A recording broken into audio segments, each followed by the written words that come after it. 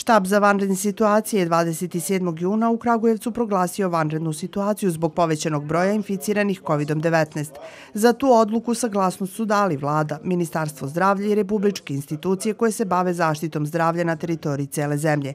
Umeđu vremenu, štab je sprovodio mere vlade, poštovane su sve uredbe, a novom uredbom vlade Republike Srbije donetom početkom sedmice predviđeno je da sve lokalne samouprave u kojima je na snazi vanredna situacija imenuju nove članove štaba jer su i sva tela lokalne vlasti počela sa radom u novom sazivu.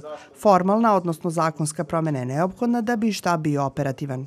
Ko će biti članovi ovog svakako predsjednik, predsjednik štaba za vanredne situacije po funkciji gradonačelnik Kragujevca Nikola Dašić, zamenik štaba će biti većnik u, većnik u lokalnom veću gospodin Damjan Srejić, potom u, u štabu će biti naravno predstavnici vojske, policije, članovi veća koji će imati svoje zaduženja u okviru štaba vezano za, za čuvanje imovine, za, za, spasa, za spašavanje ljudstva i tako dalje. Sve ono što je po funkcijama predviđeno da sadrže štab za vanredne situacije i naravno lice koja u okviru okviru svojih nadležnosti i funkcije koje vrše obavljaju to što, što ta zaduženja i predviđaju.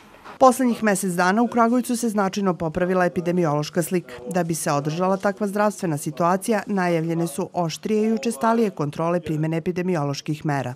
Svakako da će biti pojačane, pojačane kontrole. E, uredba vlade koju smo dobili predviđa određene, određene propozicije kada je u pitanju rad ugostilskih objekta, odnosno nalaže određene, određene mere kada ugostilski objekti mogu da rade, kada ne, da li e, kako za one ugostilske objekte koje imaju svoje bašte, tako i, one, tako i za one koje nemaju. Znači, predviđene su mere kada su u pitanju školski i preškolske ustanove, fakulteti, srednje škole i sve su to mere koje će sada taj, taj naš štab za vanredne situacije koje ćemo imenovati na sednici koja će biti održana sutra morati da sprovodi i da kontroliše da li se te mere zaista i primenju. Svakako da je u Kragujevcu došlo do opuštanja i to je ono što možemo da vidimo da su se građani jednostavno u svom ponašanju opustili, da vidimo da, da neki klubovi i tako dalje, neki restorani rade i preko nekog vremena koje je predviđeno odlukama koje smo doneli, tako, tako da će onda štab za vanredne situacije pojačati kontrolu tih mera i pojačati nadzor nad vršenjem mera koje predviđa uredba i ono što mi obavezni jeste da uredbu direktno primenimo